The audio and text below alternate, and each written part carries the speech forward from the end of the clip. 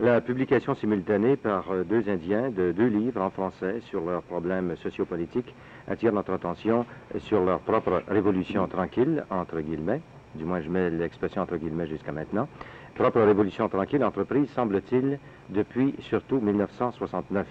Les deux livres sont publiés aux éditions du jour, La tragédie des Indiens du Canada par Harold Cardinal, un jeune Indien anglophone de l'Alberta, dont le livre vient d'être traduit en français, et Le premier des Hurons, par Max Gros-Louis, que vous connaissez. Max Gros-Louis, grand chef des Hurons du village Huron. En compagnie euh, de Max Gros-Louis, nous rencontrons ce soir aussi deux autres Indiens, Jean-Paul Nollet, un Abénaki bien connu, s'il en est, et Serge Tremblay-Manigouche, montagnais de Pointe-Bleue, conseiller en éducation euh, au ministère de l'Éducation du Québec. Max Gros-Louis, voulez-vous nous expliquer comment il se fait qu'en 69, que 69 pour vous est une date importante pour M. Cardinal également. On a l'impression là que c'était vraiment le début de ce que Cardinal et je crois vous-même également appelé le début de votre révolution tranquille. Définitivement. Euh, il y avait depuis quelques années, et même plusieurs années, on s'était aperçu qu'il fallait se regrouper ensemble. Et bien entendu, ça sur le plan national. On avait déjà des petits... Pardon, vous, quand vous dites plan national, là, euh, c'est vraiment d'un océan à l'autre. D'un océan à l'autre, c'est-à-dire à travers le Canada. D'accord. Et euh, on avait déjà des petites associations euh, qui marchaient plus ou moins à travers les Indiens. On a fait des associations à travers les provinces et ces associations ont délégué euh, la tête de chaque association pour former l'Association des Indiens nationales. Alors, cette date de 69, c'est une nouvelle prise de conscience globale là, par tous les Indiens du, du Canada de leurs problèmes. Définitivement. Et tout ça a débuté un peu avant, disons en 1967, euh, au moment de l'Expo, où on a déjà commencé à voyager à travers tout le Canada, visiter toutes les bandes indiennes.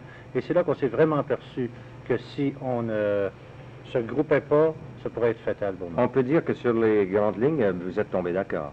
Définitivement. été difficile, si je me souviens bien. Les, Ah, les- journaux nous ont rapporté que ça abordait un peu, mais vous êtes tombé d'accord sur, sur les grandes lignes. hein? Sur les grandes lignes, oui. C'est quoi ces grandes lignes, là, très brièvement? C'est-à-dire que conserver notre identité, Oui. avoir un statut spécial et euh, les droits originaux, bien entendu.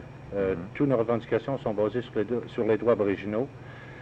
Où on a eu de la difficulté, c'est qu'à certains endroits, il y avait déjà des traités de signés. On avait, euh, bien entendu, le gouvernement, autant fédéral comme les gouvernements provinciaux, euh, se spécialisaient à diviser les Indiens en disant les Indiens traités, les Indiens non traités, euh, ceux-là ont des droits, ceux-là en ont pas. Alors, c'est quand on est arrivé à ce moment-là qu'on s'est aperçu qu'on avait de la difficulté. Dans un livre blanc, là, publié à Ottawa, euh, le gouvernement se propose de vous euh, livrer aux législations provinciales, c'est-à-dire d'abandonner la juridiction qui est fédérale jusqu'à maintenant.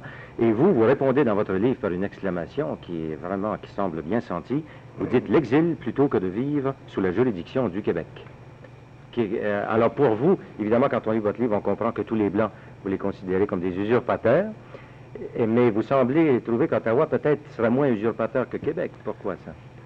Définitivement, Ottawa nous a toujours aidé un peu, mais le Québec jamais. Tout ce qu'on connaît du Québec, c'est euh, les gardes-chasse qui empêchent les Indiens de chasser, de pêcher. On n'a jamais eu le droit de vote dans la province de Québec. On nous a toujours fait payer des taxes quand on sait que les lois des non-Indiens, les lois des Blancs, comme vous dites, disent qu'il n'y aura pas de taxation sans représentation. Alors, ils ne l'ont jamais appliqué aux Indiens. On n'a jamais payé d'éducation pour les Indiens. En fin de compte, le Québec n'a jamais rien fait de bon. Ce qu'il a fait pour les Indiens, c'est quelque chose de mal. Mhm, Mais Qu'est-ce qui fait votre affaire dans la culture des Alors, Blancs? tout ce qui ne fait pas l'affaire aux Blancs. non, aujourd'hui, aujourd'hui, euh, je posais la question l'autre jour, un groupe qui me disait, mais vous voulez pas, vous voulez pas venir avec les Canadiens français, vous voulez pas venir avec les Canadiens, pourquoi? J'ai répondu par une question, est-ce que les Québécois, présentement les jeunes, est-ce qu'ils sont satisfaits du régime, du mode de vie qu'ils font? Tout le monde m'a répondu non. Alors pourquoi vous voulez l'imposer aux Indiens? Ça ne sera pas meilleur pour nous. Alors prenons ce qu'il y a de bon, et ce qu'il y a de bon, ben, disons que l'éducation, c'est certainement quelque chose de bon, mais une éducation faite à la manière indienne. Et la première chose qu'il faut faire, c'est d'avoir plusieurs M. Manigouche qui, qui eux-mêmes apporteront l'éducation nos Indiens. Qu'est-ce qui a causé cette prise de conscience là depuis? Parce qu'on a l'impression que pendant des siècles, les Indiens étaient assoupis et que Mhm. tout à coup, ils se réveillent. Là, ça, ça me fait penser à certains Anglais qui parlent du Québec. Ils Ben- disent le Québec a dormi très longtemps. Ben oui, exactement. C'est une prise de conscience mondiale, je pense. Euh, tout le monde s'est réveillé à un certain moment. Hum, Québec aussi, non? hum. Bon, Bon, oui. mais tout le monde se réveille. Tout le monde se réveille, mais il y, a- il y a quand même une chose chez les Indiens, c'est que c'était défendu de se réveiller, nous autres. Vous Ça ne l'est pas encore tellement permis. C'est pas encore tellement justement, permis de se réveiller. Je, vais vous donner juste un exemple. Euh, quand été élu chef, il y a huit ans, j'avais, euh, j'ai prévu de faire de la collection d'argent pour avoir un service de vidange sur la réserve. Hum. Eh bien, on m'a dit, j'avais ramassé l'argent, on m'a dit, tu n'as pas le droit de payer le vidangeur. Il faut que tu remettes l'argent à l'agent, que l'agent envoie de Ouais. l'argent à Ottawa, Ottawa renvoie l'argent à l'agent et l'agent payé le Mais j'ai l'impression que peut-être à partir des vidanges, quand même, vous êtes rendu beaucoup, beaucoup plus loin en très peu de temps. Maintenant, vous revendiquez, vous dites dans votre livre que vous êtes propriétaire de 85 des, des terres au Québec et vous avez euh, dressé une facture, je pense, de, de 5 milliards. hein. Est-ce que vous pensez que c'est réaliste, là, de, de- de réclamer euh, les terres qui vous ont été euh, volées, dites-vous? Ben, euh, c'est Max qui va répondre. hein. Oui.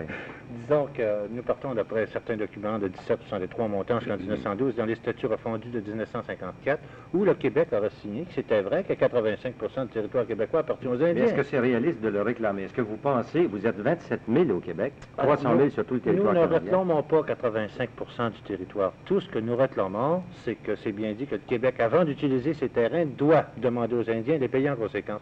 Ce qu'on veut, c'est signer des ententes avec les Indiens, comme toutes les autres provinces ont fait.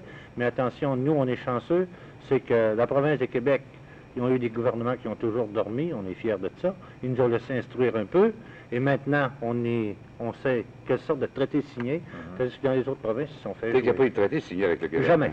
Ce qui fait peut-être un peu la force des Indiens du Québec. Définitivement. Je pense que oui.